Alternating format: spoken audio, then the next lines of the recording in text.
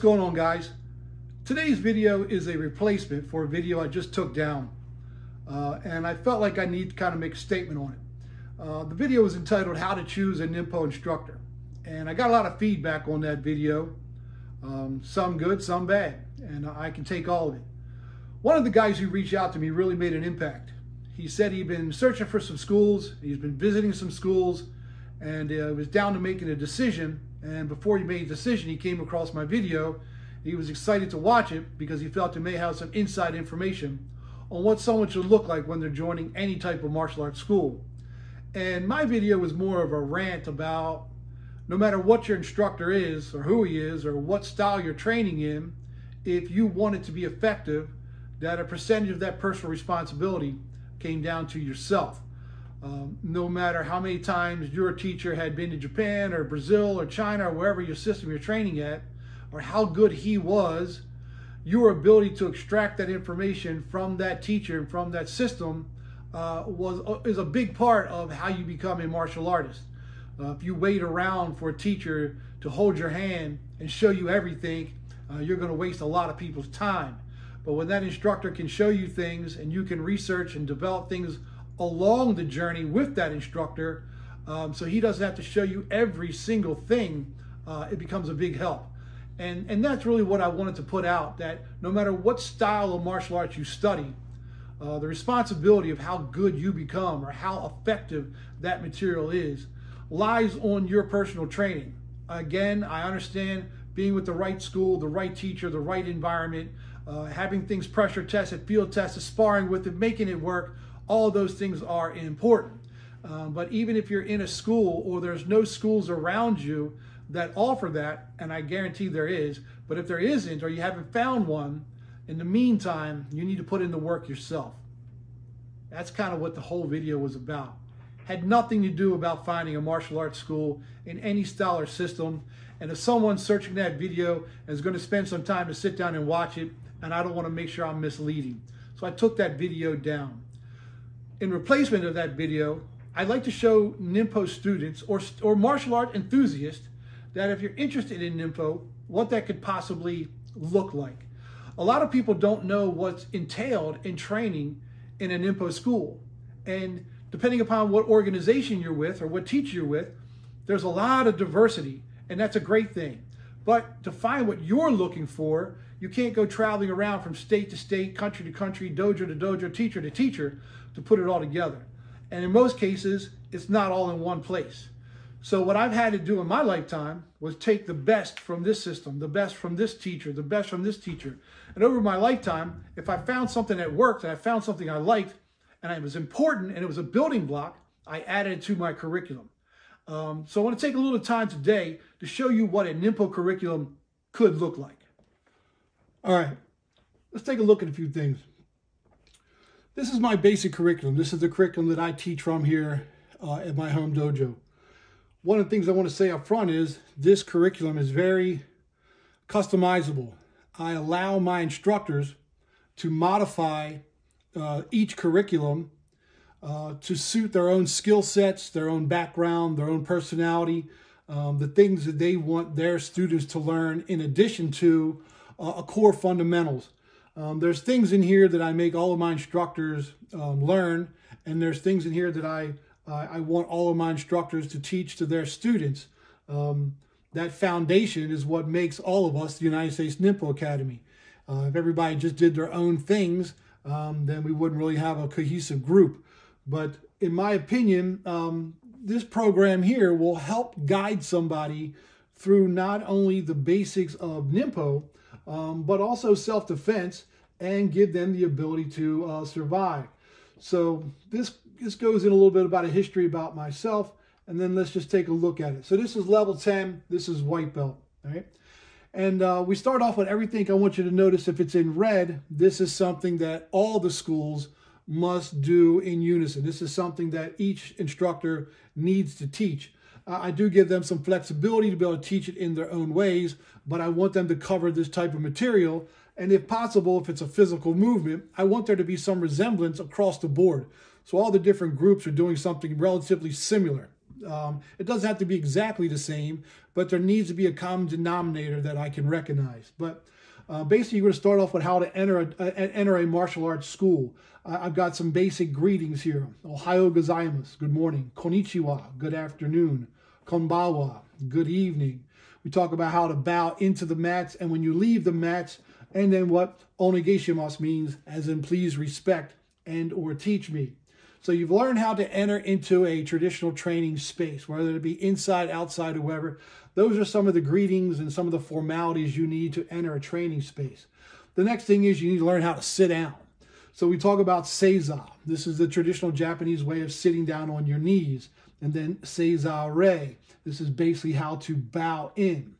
Then we get into uh, the kotodama. Um, this is basically how to organize every individual into a line and to be able to do some type of uh, benediction or some type of uh, pattern that brings everyone together. And in Ninpo, you have uh, something called Shiken Haramitsu Dai Komyo. It's followed by a, a bunch of claps, uh, and they're done to unite the class and to awaken the spirits and to just get everyone ready for training. And I've got a whole video on Shiken Haramitsu Dai Komyo uh, if you want to go and check that out. Um, the next step is after, so basically they learn how to walk into a dojo, they've learned how to sit down, they've learned how to bow in in a traditional Ninpo way. So if they went and trained with a different type of grandmaster, there was a Tai Taikai seminar or even his class inside of his home dojo, so far you've learned how to bow into the front door, you learned how to walk onto the mats, you've learned how to sit down, and you've learned how to bow in. Now you're kind of ready to train. Things you need to learn next is the kamae. These are attitudes. So I've just got two basic kamaes, Shizen no kamae and Katate Ichimonji no kamae. These are basically two stances or attitudes that you need to be able to begin training. So now that you know how to stand in some type of stance to be able to do martial arts, you have to be able to learn how to like attack. So we've got a couple different attacks that are here. Again, this is all white belt. You have Fudoken, which is a conventional fist. Then you have Omote and Ora Shuto Kitankens. And then you have Sokuyaku ken, which is a basic kick with the heel of your foot. So you basically have some closed fist punches. We have two open hand punches and one kick. So you've learned how to walk into a dojo. You learned how to do all the formalities. You learned how to sit down. You learned how to bow in. You learned how to stand in a stance. And you've learned how to attack. The next thing you have to be able to do is learn how to defend. This is Jodan, Chudan, Gedan, Uke. Upper level, middle, and lower level blocks. So you've learned how to do some attacks. Now you're learning how to do some blocks.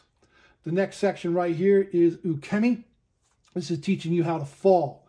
Zempo Kemi, Koho Kemi, Yoko Kemi. So this is teaching you how to fall. So if you punch in and somebody blocks, punches you back, you fall down, you know how to be able to do some type of a break fall. You punch in, they throw you to the ground, you learn how to fall in a way where you can protect yourself.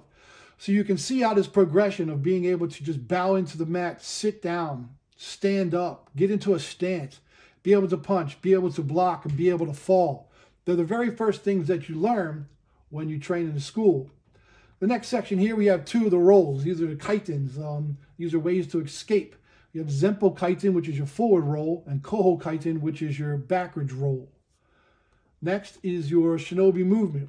We teach people the front stealth. You're going to teach people how to walk, how to put their feet on the ground silently, how to distribute their weight without their head bouncing up and down.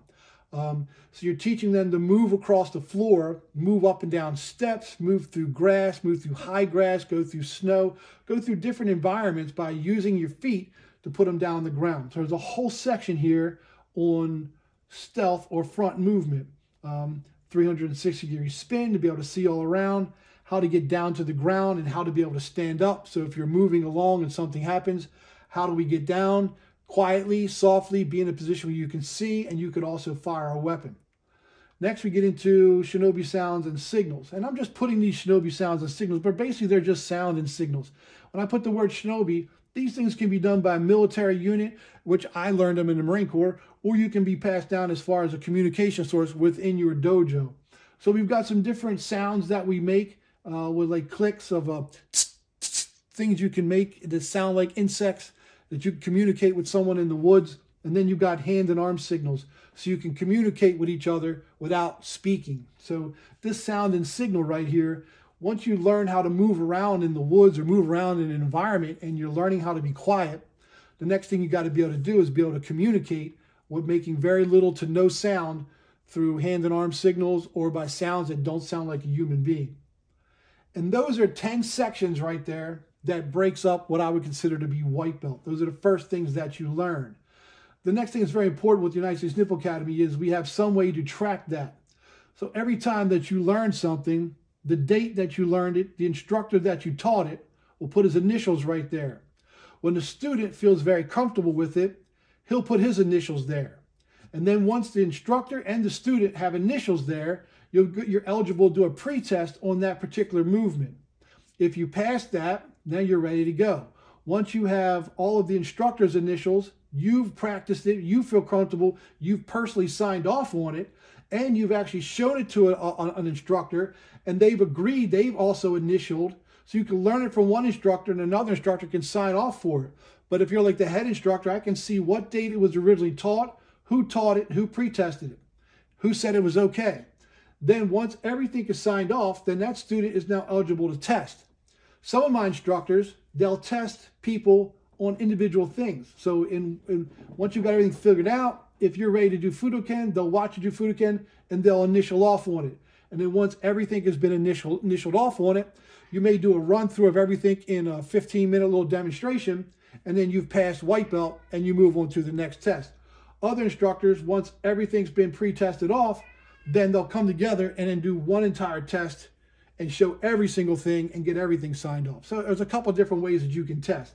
But all the material that you learn is actually tested on. And that would make you a white belt. The next kyu is Kukyu, which is a yellow belt. First thing we learn is the Go Gyo no Kata, which is also known as the Sanshin, which is teaching you Chi, Sui, Ka, Fu, Ku, different ways of movements connected to uh, different earth, water, fire, wind, and air. And you notice I have the colors that coordinate with those earth symbols and the directions, earth being north, water being west, fire being south. Um, so these will come away along because you're learning this Go Gyo no Kata, uh, and, and you're learning these earthly elements and you're learning to put them together. And these colors and these directions are going to play a factor later on. Next, you have something called the Sanpo no Kata. This basically comes from Gyokko-ryu, but you're learning Ichimonji no Kata, Jumonji no Kata, and Hicho no Kata. So these are forms that are in Gyokko-ryu that's teaching the student to be able to put blocks and punches together. In white belt, you learn how to punch and you learn how to block. In this section here, we're learning how to put those blocks and punches together to try to get you moving. Again, you're, you're only a white belt. You may have been training maybe four, five, six months. So you're really starting to put things together here as far as punching combinations. Then kicking with Gyokko-ryu again, we're working on a mote oragyaku uh, from the Kihon Waza. So you're looking on a mote gyak, oragyak. This is basically being able to, someone comes up and grabs you, remove the grip, take them down to the ground. Someone punches in, being able to block, hurt the hand, take that hurt hand, be able to break the wrist. Number three, number four is Happotenchi Tobi. This is the eight laws of leaping. So we're learning how to leap to get away from danger. Um, this is important. Someone's doing a, a, very hard kick, spinning back fist, uh, Superman punch. They have a baseball bat. They have a sword. They, they have a crowbar. They have a knife. Learning how to leap and get as much distance as you can from your attacker. So in this section here, we work on Happotenchi Tobi to make people understand that when you can't stand in that position to fight and you need to gain some space, you have to be able to learn how to leap athletically to get as much space as you can. Moving on to number five, we have some of the basic kicks. So we have Sokuyaku-ken, Sokugyaku-ken, Sokushi-ken, Sokuto-ken, and Soki-ken. This is basic kicking with the heel, the ball, the toes, the edge, and your shin. So this is kind of the basics of kicking. So right now we're in yellow belt and we're learning all the different kicks. We're going to learn to do those kicks against someone holding like a focus pad or a heavy bag. You're going to learn how to develop those kicks. And then you're going to start to apply them in your sparring. So with your, your punches and your blocks and your open hand strikes, you're going to start to put a little bit of diversity in your different abilities to kick with different parts of your feet. So again, in yellow belt, now we're going to get introduced to the sword. This is Kenjutsu Kihon. So basically this is coming from Kukishinryu. We're going to learn some of the kamais. These are some of the stances in the sword. So you're going to go through seven of the kamae of Kukishinryu. You're going to learn not only the stance, but you're going to learn the feeling behind that stance so you know when to take on that attitude or when to take on that kamae. So again, this is in yellow belt, you get introduced to the sword. Then you learn the seven basic cuts. So you've learned how to stand in seven stances. Now you're going to be able to do seven cuts. And you're going to be able to do these cuts from all seven stances. So this is showing me that you can not only stand properly with a sword, but you can perform basic cuts. And then eventually we'll work that into against tatami, where you're actually learning how to cut against uh, something with resistance. this is Kenjutsu Ukemi. Now we're learning the blocks. So you've learned how to stand in a stance. You learn how to do the cuts. Now you're learning how to block. So this is the introduction to the sword. Again, this is in yellow belt. Uh, the next section here is how to wear your uniform. And uh, I give some basic traditional names of the traditional shinobi uniform, which is shown here. But we also talk about a modern ghillie suit. Um, the uniform here was used to be able to move comfortably back in the old days, to be able to camouflage your face, to be able to keep things from rubbing together making noise, to be able to move silently. Same thing with the modern day ghillie suit. The last thing here, you have a 10 second head start with a five minute search. We call this Ongyo Jitsu. Basically, this is your first introduction to stealth. This is using some of the stealth movements we talked about, some of the hand and arm signals if you're moving in groups, to be able to run either in a, a wooded environment or an urban environment, to be able to find overlapping shadows, to be able to find cover and concealment, and to be able to get distance from your opponent. So you have a 10 second head start, and then a team of individuals are given five minutes to basically locate your position. Again, this is yellow belt, and this is your first exposure to kind of shinobi movements. You get somebody that's never been out in the woods and never ran through spider woods, spider webs, or the understanding of the different terrain when you're moving in the woods and how things can drop off and roots and sticker bushes and thorn bushes or diving into poison ivy. There's all kind of things that go along with this. Some people will run and just kind of lay down thinking they're covered, um, but they don't understand how the shadows can move with the clouds and the moon and how things can change. So there's a lot that you learn when you're laying down and you're hearing people stalking you down the way you control your heart rate, the way you control your breathing. So this is an introduction to a lot of things. In the beginning, it may start off as just kind of like a, an adult version of hide and seek, and it may start off like that for everyone. But eventually it grows and grows and grows and grows, gets more serious. There's more things you have to be able to do. How fast can you move with that 10 second head start? Can you understand what shadow trails and animal trails are? Have you have you gotten better at moving silently without leaving trace evidence behind you? When you find cover and concealment, can you get down and pull things in around you, cut things down to put them to break up your neck and shoulder area to be able to blend?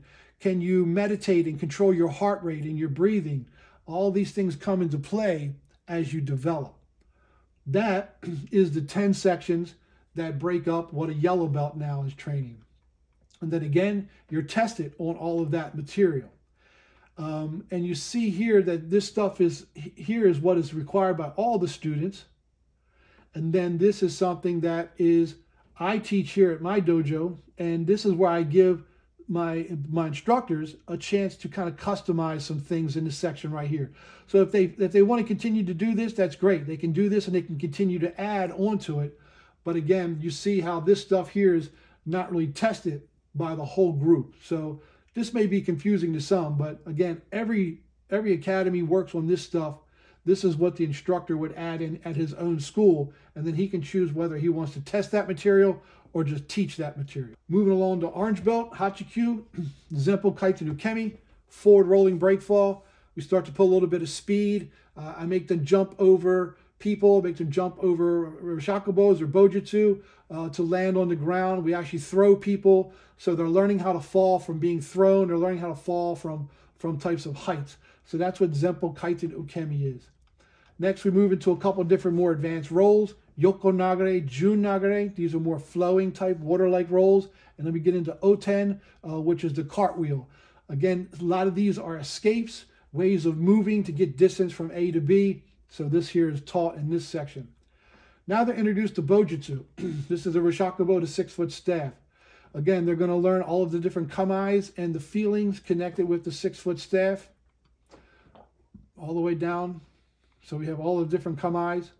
Once they've learned the kamais and they can do all the kamais and understand the feelings, they get into the strikes.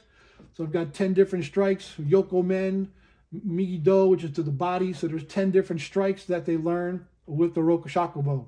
So they learn all the stances, and then they learn the 10 strikes, and then again they go back and take those 10 strikes and be able to do them from each of the different kamais or stances. The next section is the Sabaki evasions from the front with shuriken. You're learning how to feel the intent right here. So basically what's happening is as you're cut with a sword, this is Daijudon Shomagiri. So someone's cutting at you with a sword and you're learning how to avoid that cut by feeling the intent using some of the rolls, the cartwheels, and the leaping and the movement to be able to get away from that cut, and then to be able to throw a shuriken accurately at the attacker. And yes, we're using rubber or cardboard shurikens. We're not throwing metal shurikens into our training partners. But you're learning how to be in a calm position. Shuriken's hidden.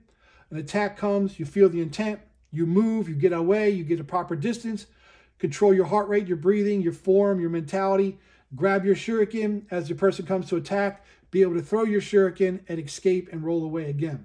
And you put this all together from a bunch of different attacks with someone facing you. Now we're continuing with the um, Kihon Happo, getting into Mushadari, Musodari. Again, this is an orange belt level. You're learning those two techniques, and we're going to introduce you to some throws, Sotogake and Ganseki Nage. So here you get introduced to being able to throw. Then we've got some Tehodoke. This is removing from grips. Someone grabs the same side, two hands on one, one hand on both. You're learning how to avoid some grips. So you're learning that the thumb is the weakest finger. Learning how to use your entire body to move to be able to escape these types of grips. So if you're reaching for a secondary weapon, whether it be a firearm or a sword or a knife, and someone reaches and grabs your hand to stop you from getting that weapon, you know how to get the hand free to be able to draw that weapon. And again, since Shuriken Jitsu is in this section with the sword, we have the whole introduction to Shuriken Jitsu here.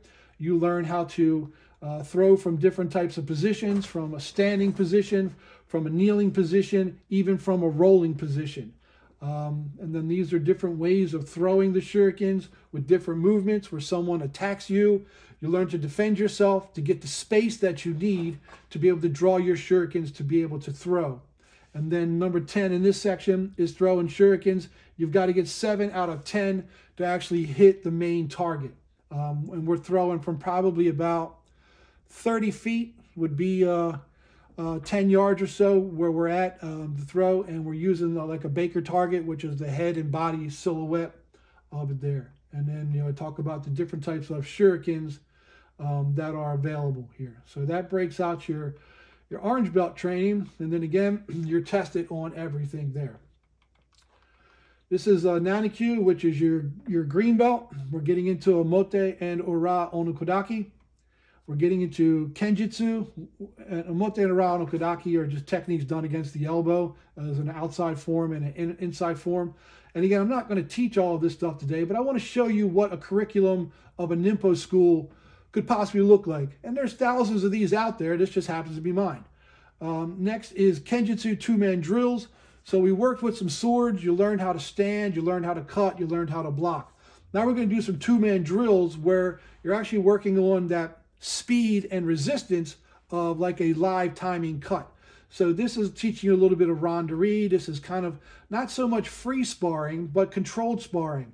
You don't know when the person is going to cut. You don't know how hard they're going to be cutting. You've got to be able to react to it and move. So these drills are teaching you how to move quickly against hard cuts.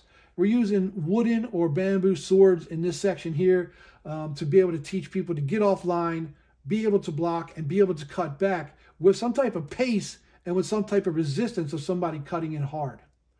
Next section is Tanto Jitsu. You're going to learn some, some kamais with the, uh, with the knife or with the blade, and then some cuts. So you're going to learn how to hold the knife correctly, and you're going to learn how to do some basic cuts with the tanto in this section here. Section four is the Koho Sabaki.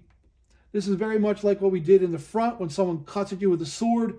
You learn to escape, you learn to get distance, you learn to throw your shuriken at the swordsman. This is the same thing, but now your back is to the cutter. So you have to be able to sense and feel the direction of the cut. And yes, at this section here, which is green belt, you know what cut is coming. You don't necessarily know when it's coming, but you know what direction the opponent's cutting at. And again, this is a starting point. This is where we start the training. Eventually, any of these cuts could come anywhere, and you're going to receive them with no ki, and you've got to be able to sense what part of your body is being attacked, when it's being attacked, how to move correctly. So that's very difficult to do when, you when your back is turned to your cutter and you don't know what attack he's coming at. So this is teaching you the basic ways to move when he's cutting at your legs, when he's cutting at your shoulder, when he's cutting at your kneecaps. There's different techniques that will give you an advantage to be able to escape, again, to be able to draw your own weapon or to grab your shuriken or metsubushi to be able to defend yourself. So that's kind of what the uh, that section right there is. Now you're going to get introduced to the hanbo, which is the three-foot staff. You're going to learn the Kamais, Kata Yabari, Munen Muso, Otanashi. We talk about the attitudes, the feelings. And then you get into some of the Hanbo Kihon. These are techniques that are done uh, with the Hanbo. So you've got 10 techniques here to be able to use the Hanbo to understand all the movements. Next, you're going to get introduced to Manriki Kusari. Since the Bujinkan, the Genbukan, uh, doesn't really have a Manriki Kusari. I know that the Jinenkan does, and we may see that later. But Todoru is where I learned the majority of my Manriki Kusari. And um, this is kind of going to get you introduced to the different uh, stances and positions and movements from the Manriki Kusari, from the chain. So we've got five different movements here teaching you the Manriki Kusari. Next section is to prevent takedowns. So this is a situation where we're talking about uh, Hagai Jime, which is a full Nelson. Someone comes up and puts you on a full Nelson. How do you escape it? Dodori, somebody comes and uh, tackles you around your waist. What do you do? Uh, Roashidori, somebody comes and tackles you and they're grabbing both your legs. They're kind of doing that, that jujitsu or that Greco-Roman wrestling type of drop to your knees. How do you defend yourself against someone coming up from behind you and getting you in a full Nelson? someone coming up and getting your waist embraced with your hands or your not your hands. And what do you do if someone shoots for your legs? These are some of the techniques you learn how to defend yourself from there.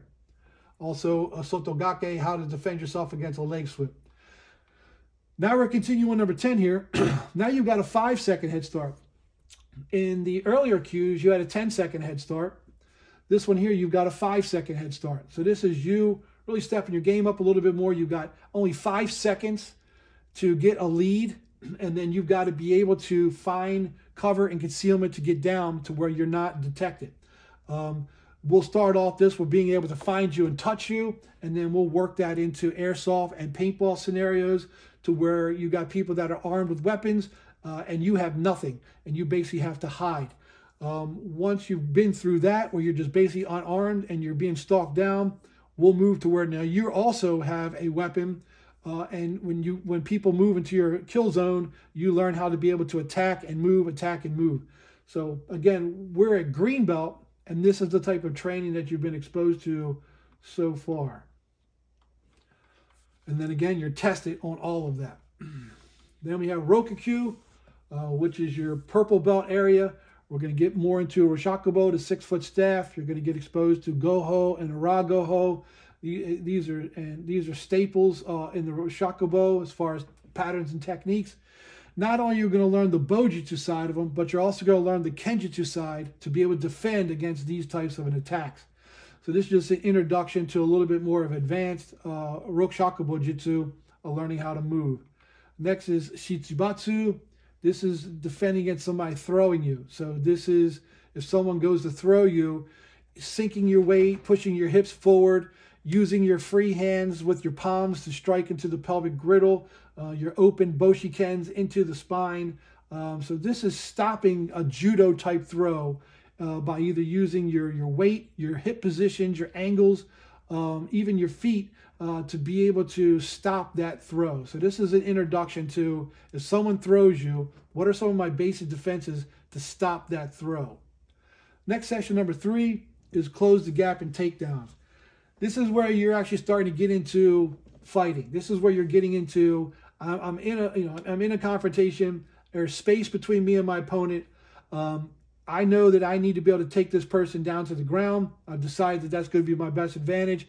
Maybe he's a, a, boxer, maybe he's a kickboxer, maybe he's a kung fu guy, and I feel that my advantage is to be able to get him down to the ground, choke him out, kill him, break his bones, whatever I got to be able to do. But I've got to be able to close the gap and take this person down. So I've learned how to stop a judo type throw, but what if that's if we're connected? What if we're not connected and I need to close the gap? So we get into this section here, it teaches you how to be able to close that gap take the person down to the ground, and gain an advantageous position.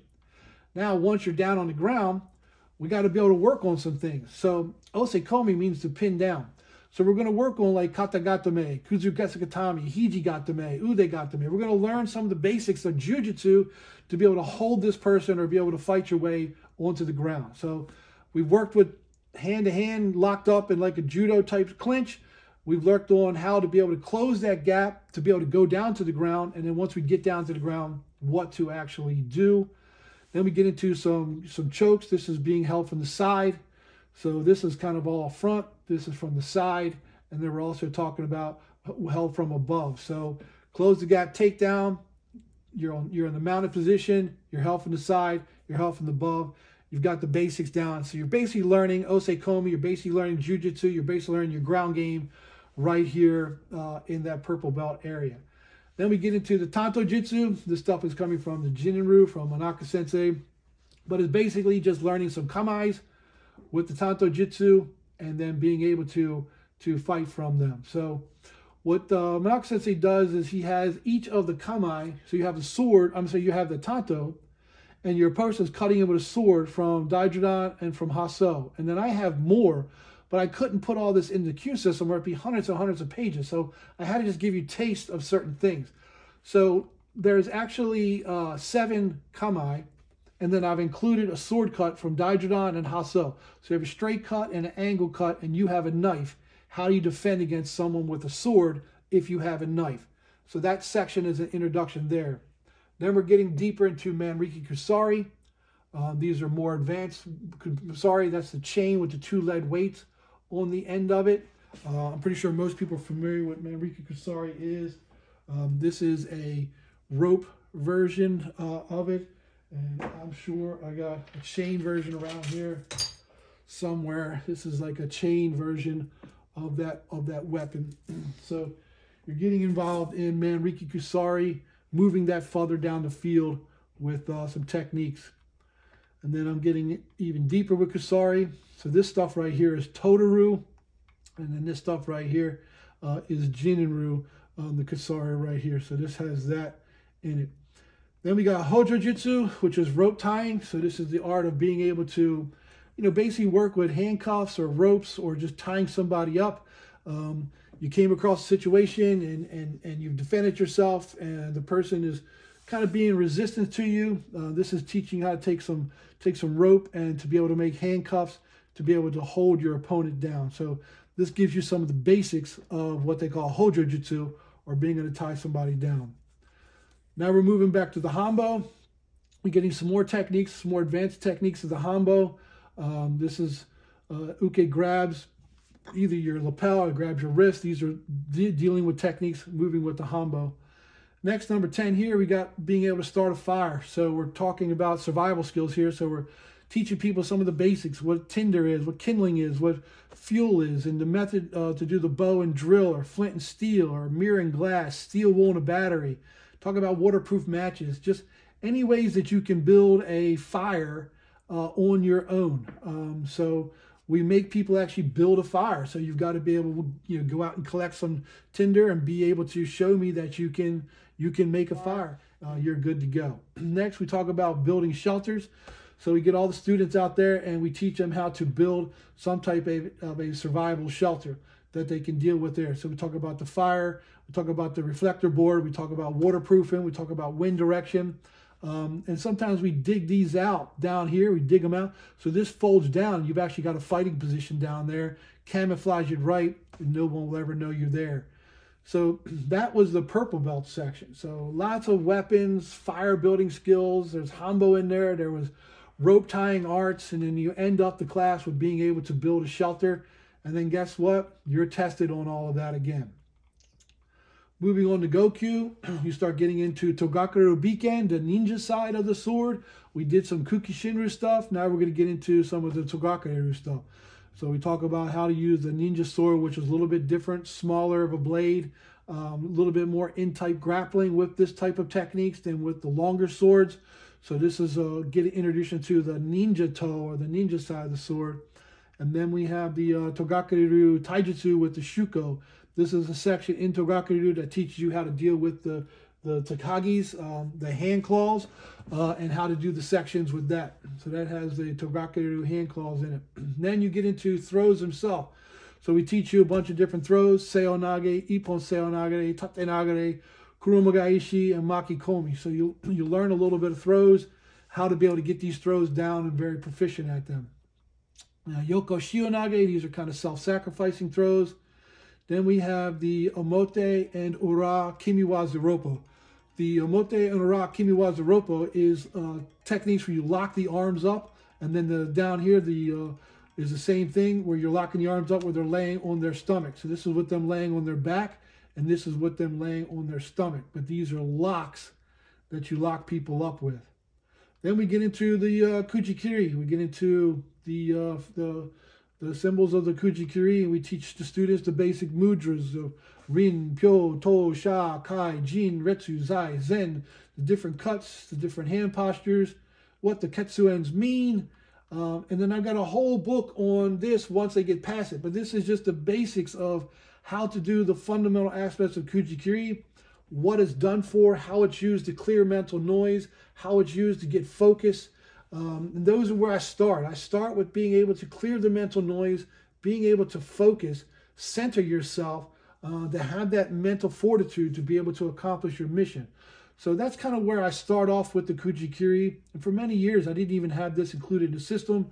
Students wanted it, so I put some basics in here to get them started on that trail. then there's Kusari Gama. Uh, we talk about the Kamae for Kusari Gama, and then we talk about some of the techniques to be able to spin the chain and use the and use the sickle to do some of the basics. So this is your introduction here to Kusari Kusari Gama. then we get into some shinobi sections here we're talking about suiton, talking about techniques of skills to be with the water. So we got all these different techniques of using, you know, to tread water normally, swimming with your katana on your back, uh, side strokes with both hands under the water. You know, basically teaching you how to survive, teach you how to swim.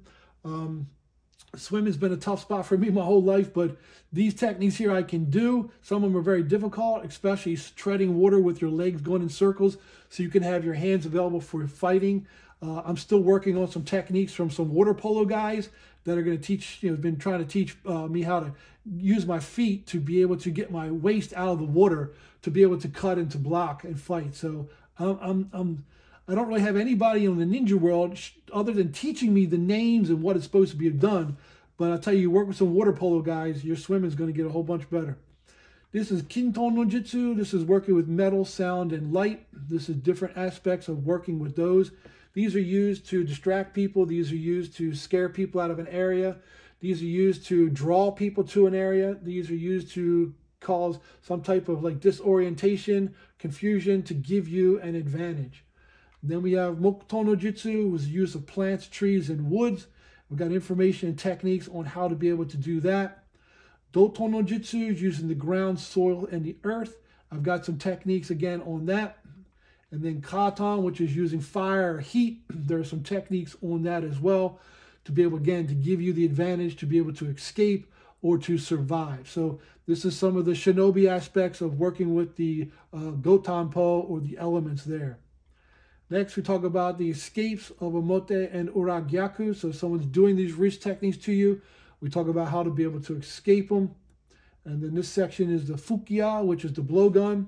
So this is teaching you how to be able to use the blowgun. I talk a little bit about how it was historically made. And then again, you've got to do 7 out of 10 in a target at 20 feet.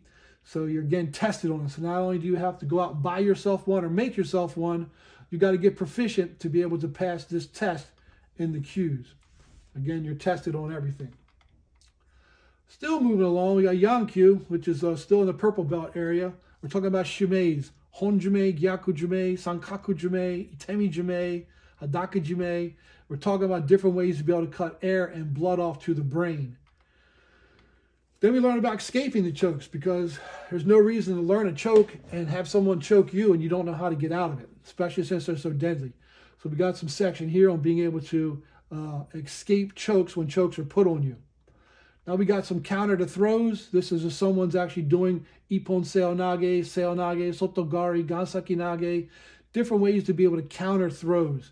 So if someone's throwing you, this is what you can do to prevent it and counter it. This section here is the Ashigyaku Kion.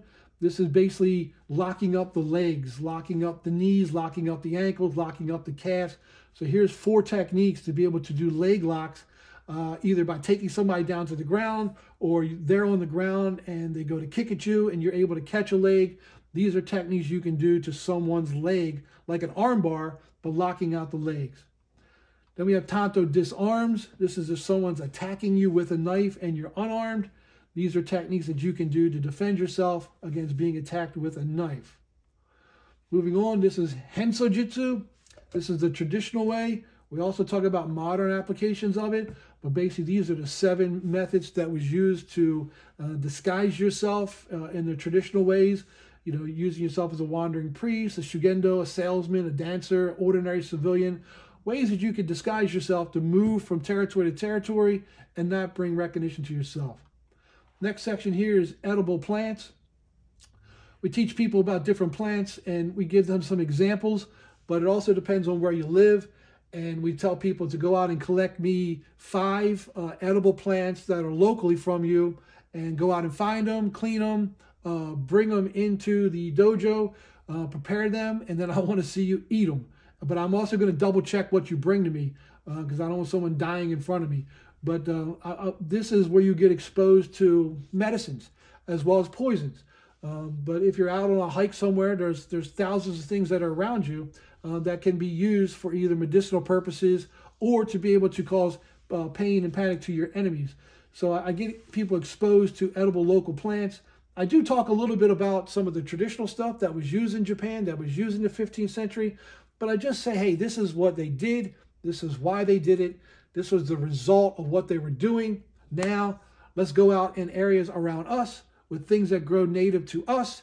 And let's talk about some of the medicinal properties, the ways you can heal yourself, the ways that you can increase uh, your immune system, uh, things that can be used to help infections.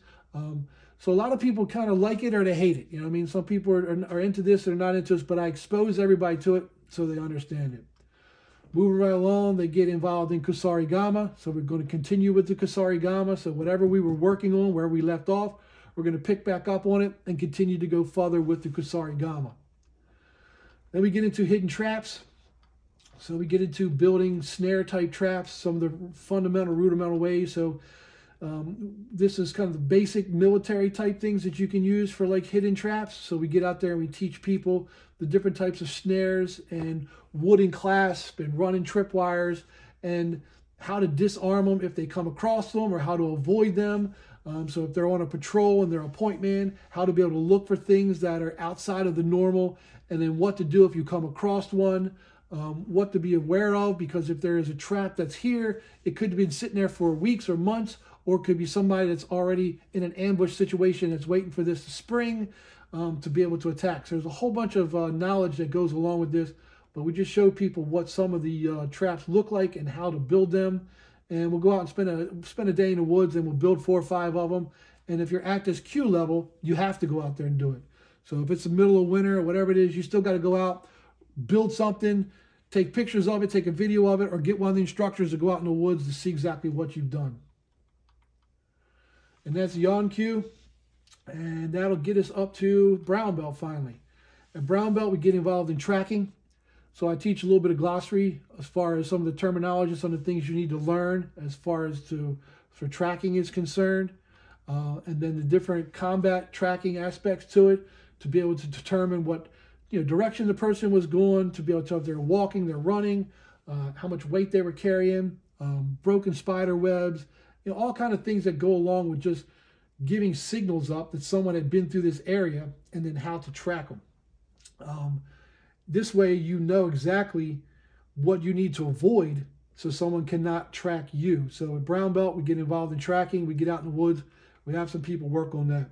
Let me get involved in some jutte basics. So this is the jutte, how to hold the jutte, kamais from the jutte. Um, once we get through the kamais of the jutte, uh, we talk about how to do blocks with the jutte. Uh, we talk about how to do strikes with the jutte. And then we get into Metsubushi and blinding agents. So we talk about um, different types of things that you can make from, you know, grounding up type of objects to using bear spray and pepper spray um, to using um, ground up firewood ash uh, mixed with peppers and stuff and ground up uh, pieces of metal filings. There's a lot of things that you can do with uh, the Metsubushi, but it's basically any type of blinding agents. Um, you know, I, I, work a lot with bear spray and pepper sprays, things like that. Uh, I do carry some of the traditional stuff, but a lot of times this stuff here, you, you really got to be careful. Um, it just it makes a mess all over you. It leaves a trace that you were there. Um, the old school stuff, carrying eggs around with you filled with this powder, just is unpractical. Uh, I used to use 35 millimeter cases for years. Now I'm just buying stuff that's already pre-canistered. Has a real good range, has a direction on it, has a safety pin. Uh, I can move around, jump, run. I don't have to worry about breaking or poisoning myself if I'm carrying poison. So, um, but I do again teach the modern stuff. You know, we get out there. If dudes want to, you know, boil eggs and do everything traditionally, we'll do it. We'll talk about the parchment paper, what everything you need to be able to do. But eventually, we'll move to uh, the most effective modern way. And if you still feel that carrying the old way uh, is best for you, then then fine. During testing, I want to be able to see some type of uh, ability to be able to blind to to stop multiple people. So if you're attacked by 10 people, what can you do to minimize those odds to be able to escape, to be able to fight people in a one-on-one situation? So that's my main purpose with the Metsubushi. Next section, we're moving down the trail with Tanto Jitsu. So we're learning more techniques from the Tanto Jitsu section. So we're getting better with our knife fighting skills. So all these techniques are teaching you knife fighting skills. Then we're getting more deeper into the Manriki Kusari, which is the weighted chain. Um, still with the Totaru on the Manriki Kusari, so we're still still learning that. Then we got here is how to create sacred space. Um, basically, how can you make your own training training space outside? Uh, that's kind of the starting point for it. Um, how, how can you go out into the middle of the woods and clear out a small area and make like an outdoor temple or a place that you can train? Uh, once you've created this outdoor area, you know, how can you continue to put energy uh, into that, that, that, that place where you can go and you can meditate and, and you can heal, a place that you can go and you can feel safe, uh, a place that you can go and do your own spiritual energy work. So I, I teach people how to create an, a sacred space so they can get out and they can train uh, in an outdoor environment or in their living room or in a basement that they've kind of got a place that feels like a dojo that has energy. So we'll talk a little bit about how to create a sacred space. Then we get back into Hojo Jitsu. We start getting more advanced diamond type ties where we're you know, we're tying up behind the back and we're doing more intricate ties. So that's kind of the, and these are not the ties that we do. I just kind of found this picture, but um, these are the names from uh, the Ryuha that we work with, the uh, Tanto Jitsu, I'm sorry, the Hojo Jitsu. Um, and then we get into pace count. This is teaching people how to move. So this is um, this is crazy. You're learning your own pace count. We're going to get out there and work 100 feet, and um, you're going to see how many paces it takes you to go 100 feet. And then I'm going to you know, talk about slopes and winds and elements and clothing and visibility and different ways to break things down into meters and yards and things like that. So uh, this is this is really good. So I'll get people to learn like an azimuth for the compass, but they'll learn how to go. If I say, hey, I need you to meet me southwest 180 degrees and I need you to go, you know, two and a half miles, you got to be able to break those miles down into feet and then know how many paces it takes to go a mile. Um, and then how many paces is going to take you to go two and a half miles so you know how many steps to go so we end up at the same location so this is basically just basic infantryman stuff learning how to use your pace count and do do math next we get into five local dangerous plants. So I got some examples of some dangerous um, plants here. And then again, we have the students um, not go out and get these, but we have them talk about. They'll bring to us, say, I live in this area. These are five dangerous plants uh, in my area that grow naturally, and uh, here's what they look like, and then here's what they will do uh, if they're consumed. And this is is it the leaf, is it the flower, is it the root, and um, how you can break it down. So this section here, uh, we have students, you know, talk to us about what locally grows dangerously in their areas. Number one, they can avoid it, but also too, if needed, they've got it. Then we got rope skills, uh, how to fasten an anchor.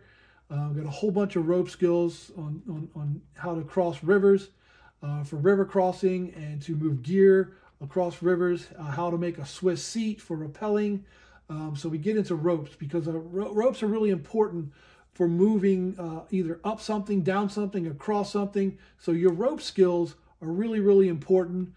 So this section here, we really get involved in that. And the most important thing I want to be able to see somebody do is have the proper length of rope to be able to make their own uh, own uh, Swiss seat with a D-ring. If they can put a Swiss seat on with a D-ring, I can get them across a river. I can get them if they're injured or hurt up or down a hill. So uh, that's very important. Everyone knows to do that. And then again, as always, you're tested on it. This will move us to the next to last kyu. We get into Kukishin Hanbo Jitsu again. Again, a little bit more knowledge, a little bit deeper level. Uh, so we get people moving with the Hanbo. That's 15 techniques of the Hanbo. We continue with the Jutte, and we get people working with the Jutte uh, with different techniques from Ryuhas for the Jute. And we get into multiple attackers. this is teaching people to fight more than just one person where you've got two people standing next to each other, um, different scenarios. Uh, a person on the right punches first, or you know, so there's just different scenarios of fighting multiple people, two, three, four, five people. So, and we put them in a circle uh, uh, with people around them, so they learn to be able to maybe go at the stronger person first, um, to or to try to figure out who the strongest person of the group is so you can either fake towards that strongest person and then immediately attack the weakest person in that group uh, to be able to get a hole to be able to move. And when I say move, I mean run. Um, I'm not teaching you to stand there and fight five people. I'm teaching you how to be able to get out of that circle, to make people chase you, to use your skills to get into environments to where you can fight people one on one. So this is teaching you how to get out of a jam if you're surrounded by people.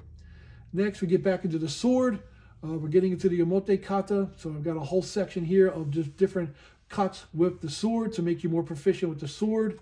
This is defense against kicks.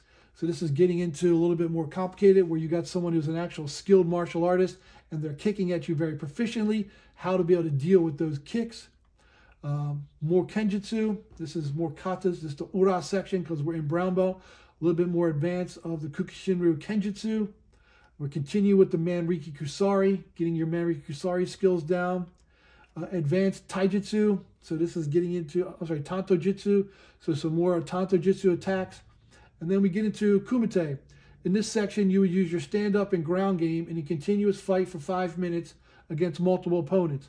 Your mission is not so much to win, but survive the entire five minutes without stopping for injury or giving up. This will build your confidence and your fighting spirit. So at this section here, yeah, it's in brown belt, which is, you know, someone's been training probably two and a half years or so, maybe. And we put them in a circle with five, you know, five, six, seven, ten people, and we just basically beat shit out of them for five minutes. And all they have to do is just not cry and not quit and and um, and not get hurt. Um, and you know, we're doing this in a way where it's a little bit of a hazing, but at the same time, uh, we're not trying to kill anybody. Um, but we want to make sure that you feel pain, you feel fear, and there's one point in this five minutes that your brain says, I need this to stop right now. And I need to see if you completely spaz out and freak out and start biting people, or if you run for the door. Uh, you know, I've seen all kind of people do all kind of things, but at the end of that five minutes, um, you're you're usually uh, happy it's over, uh, but at the same time, your your confidence is going to go either way up or your confidence is going to go way down by you realizing that during that five minutes, um, you've got a lot of work to do on your on your spiritual fortitude, your physical skills, or whatever. You know what I mean? Now, I'm not just saying this is the only time that you do it. This is when you're tested on it. This happens as early as your first day. Uh, we do this on a regular basis all the time. Uh, we put you in a group of people and Uh, we'll either yell out numbers, they'll come from all different sides. Um, sometimes we'll have two, three people on you. And um, in the very beginning, you know, there's not much you can do. You're just learning how to cover up and protect yourself as much as you can.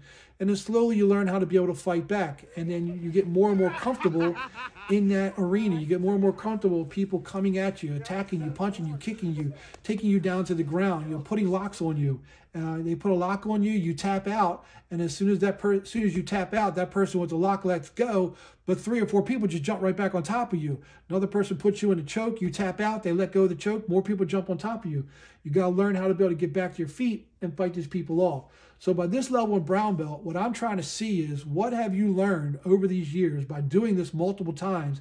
How comfortable are you fighting? How comfortable are you in a stand-up game? How comfortable are you on the ground? And that's what that test is for. You're getting ready to go into black belt. And before you do that, I just need to see exactly where you are. Last section here is remote viewing. Uh, remote viewing is something I've been involved with for a long time. Uh, got exposed to it um, probably back in the early 1990s. And uh, I've read tons of books, been to a bunch of different uh, seminars, classes, and uh, I've paid some money to to learn this. So I get people exposed to what remote viewing is. Uh, if you don't know what remote viewing is, kind of look it up. Um, but this is uh, you know where you get exposed to remote viewing, and we do some some training to help you see if you have a knack for it, or just get you exposed to it because we will continue to do this later on once you have your own school. Then we get into daytime uh, land navigation and terrain analysis, where you learn different terrain features. You learn how to use a compass.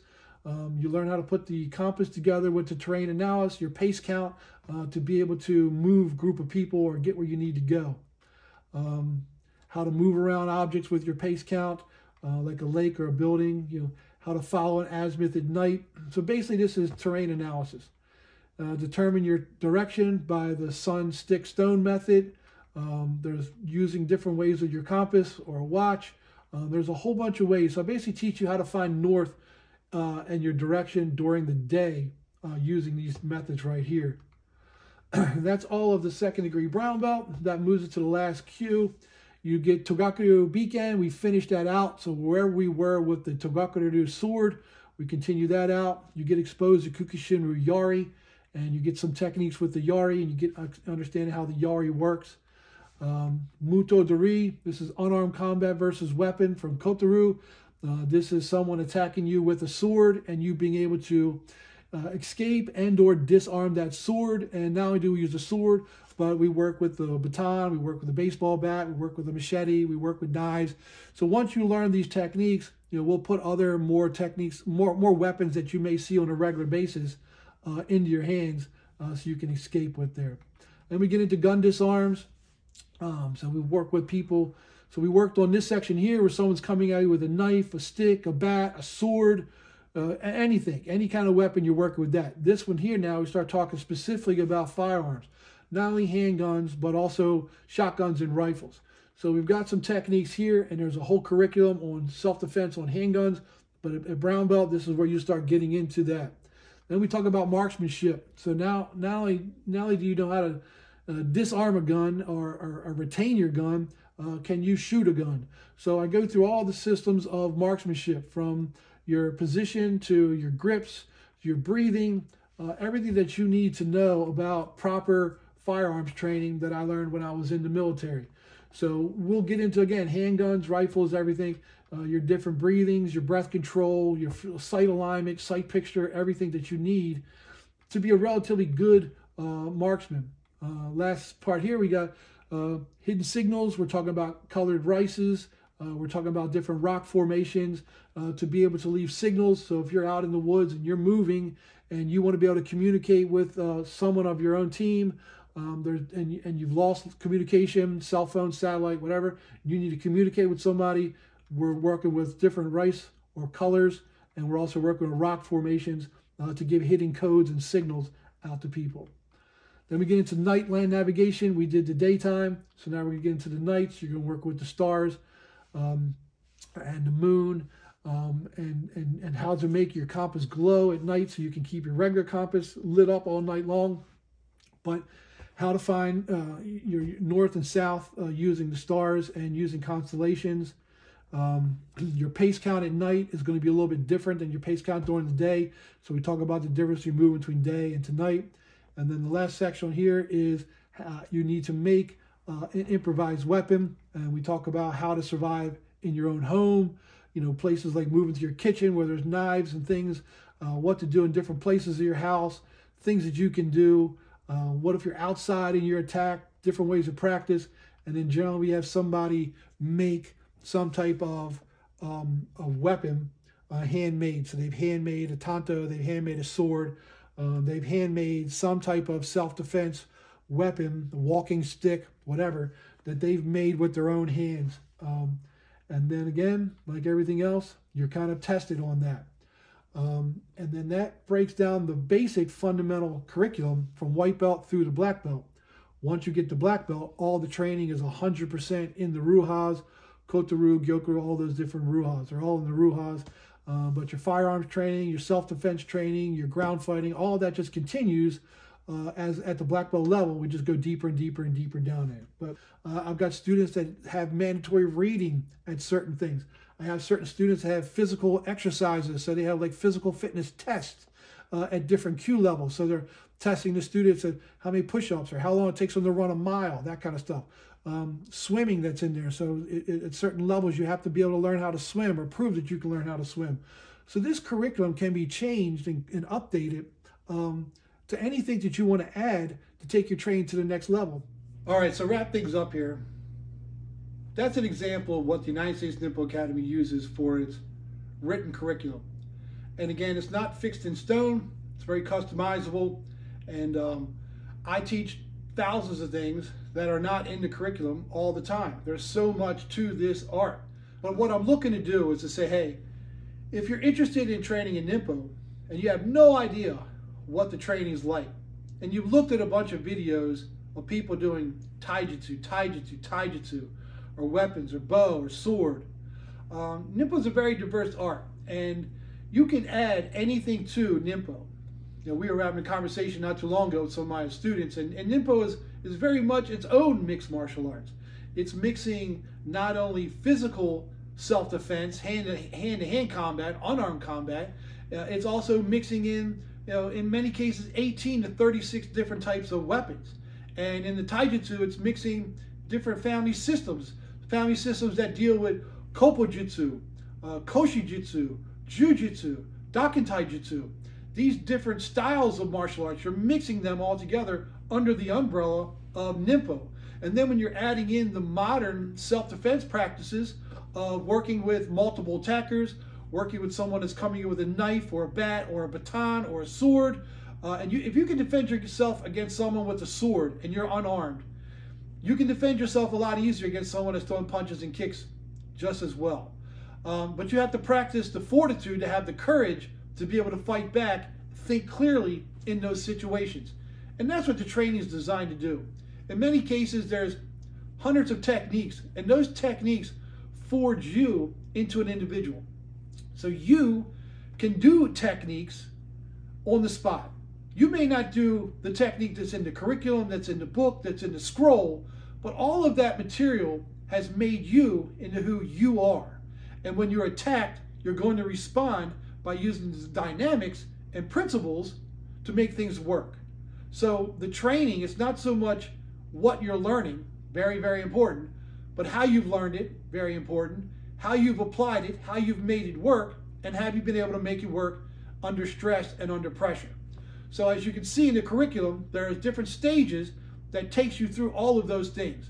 You get a great foundation, an opportunity to learn it, practice it, and develop it, but at each level, beginner, intermediate, and advanced, there's certain things that pressure test you to be able to put these things to work. So I hope you enjoyed the video to get an idea of what a Ninpo curriculum could look like. If you're training in a martial arts system and a lot of these aspects are not part of your martial arts system, take that responsibility on yourself and add them. If you got any questions, you know where to find me. Best place is on patreon.com. Our Patreon members get everything online classes, live streaming classes, access to give me questions. I get to see their test. They're, they're, they video send me their test. Uh, they don't even have to travel here anymore. So COVID's changed a whole bunch of things around. But I've decided to use Patreon as my main hub. I put the videos out on YouTube, and then all the training is discussed through the Patreon, through our live streaming, monthly newsletters, and articles that I put out there. So if you're interested in training, learning more about Ninpo, my Patreon page is a great place to start. I hope to see you soon out there in the world somewhere. Hope this COVID thing goes away. Hope we can all get back to training. Sayonara.